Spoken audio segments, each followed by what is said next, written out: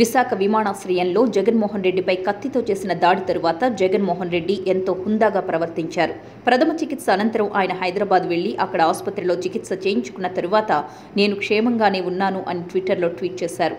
ఎవరు ఆందోళన చెందాల్సిన పని లేదని కూడా స్పష్టంగా చెప్పారు. అంతేకాని తన అనుచరులు కార్యకర్తలు ఆందోళనకు దిగే విధంగా వ్యాఖ్యలు చేయలేదు. పైగా దాడిపై ఎలాంటి వ్యాఖ్యలు చేయలేదు. కుట్రకోణం ఉందేమో అన్న అనుమానం కూడా జగన్మోహన్ రెడ్డి వ్యక్తం చేయలేదు.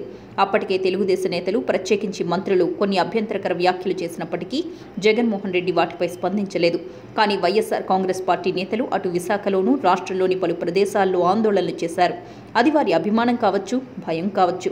కొందరు అభిమానులు జగన్మోహన్ రెడ్డిపై జరిగిన దాడిని తెలుగుదేశం పార్టీ కంటగట్టే ప్రయత్నం కూడా చేశారు. ఇలాంటి వ్యాఖ్యలు అవాంఛనీయమే అయినా రాజకీయాల్లో అనుచరగణం ఇంతకంటే భిన్నంగా ప్రవర్తించరు. వైఎస్ఆర్ కాంగ్రెస్ కానీ తెలుగుదేశం కానీ కార్యకర్తలు కింది స్థాయి నాయకులు ఇలాగే స్పందిస్తారు. అయితే కీలకమైన స్థానంలో అంటే పార్టీ అధ్యక్ష స్థానంలో ఉన్న నేతలు కొంత విజ్ఞతతో వ్యవహరించాల్సి ఉంది. ప్రజల్లో ప్రత్యేకించి పార్టీ అభిమానుల్లో విద్వేగాలు రెచ్చగొట్టే ప్రకటనలు చెయ్యరు. అందుకే జగన్మోహన్ రెడ్డి తన క్షేమం గురించి మినహా ఎలాంటి ఇతర వ్యాఖ్యలు చేయలేదు. కనీసం అప్పటికే ఈ విమర్శలు చేస్తున్న తెలుగుదేశం మంత్రుల వ్యాఖ్యలపై కూడా ఆయన ప్రస్తావించలేదు. కానీ తెలుగుదేశం పార్టీ అధ్యక్షుడు ముఖ్యమంత్రి స్థానంలో ఉన్న చంద్రబాబు నాయుడు వ్యాఖ్యలు పూర్తిగా వైఎస్ఆర్ కాంగ్రెస్ అభిమానుల్ని రెచ్చగొట్టేవిగా ఉన్నాయి. జగన్మోహన్ రెడ్డిపై కత్తితో దాడి చేసిన వ్యక్తి జగన్మోహన్ రెడ్డి అభిమాని అని చంద్రబాబు అప్పటికే నిర్ణయించేశారు. పైగా దాడిలో కేంద్రంలోని బీజేపీ కుట్ర కూడా ఉందని ఇది రాష్ట్రాన్ని అస్థిరపరచడానికి బీజేపీ జగన్ కలిసి చేసిన కుట్ర అని చంద్రబాబు వ్యాఖ్యానించడం ఆయనలోని అభద్రతను తెలియజేస్తోంది.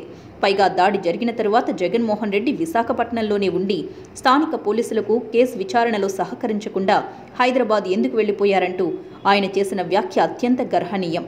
బహుశా ఇది ఆయన మానసిక పరిస్థితికి నిదర్శనం. అరవై ఏళ్ళు పైబడ్డ కారణంగా చంద్రబాబు మానసిక పరిస్థితి గాడి తప్పిందని చెప్పేందుకు ఈ వ్యాఖ్యలే ఉదాహరణ. ఈ వ్యవహారాన్ని పూర్తిగా రాజకీయం చేయడానికి చంద్రబాబు ఆయన తమ్ముళ్ళు పచ్చ మీడియా పెద్ద ఎత్తున కుట్ర చేస్తోంది. రాష్ట్రంలో జరిగే ప్రతి సంఘటన తన వైఫల్యమని కాక ప్రత్యర్థుల కుట్రగా ఆయన పరిగణించడం ఆయన పరిణతి స్థాయిని మానసిక స్థితిని తెలియజేస్తోంది. విజయాలని తన ఖాతాలోనూ తన అపజయాలని ప్రత్యర్థుల ఖాతాలోనూ వేసి చేతులు దులుపుకునే ప్రయత్నం చేస్తున్న చంద్రబాబు రాష్ట్రాన్ని పరిపాలించే స్థాయిలో ఉన్నట్టు కనిపించడం లేదు. ఆయనకు విశ్రాంతినిచ్చి ఏ మానసిక వైద్యశాలలోనూ విశ్రాంతి ఇవ్వడం మంచిది. ఆయనలో పరిణతి కనిపించడం లేదు. ఆయన మానసిక స్థాయి దృష్ట్యానే ఈ వ్యాఖ్యలు ఆయన చేసినట్టు తెలుస్తోంది. ఈ వీడియో కనుక మీకు నచ్చితే లైక్ చేయండి. మా ఛానల్ని సబ్స్క్రైబ్ చేసుకోవడం మాత్రం మర్చిపోకండి.